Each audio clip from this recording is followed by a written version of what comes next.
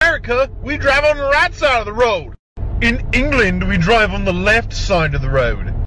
In Russia, road is the road. Drive where you want. Road, same road.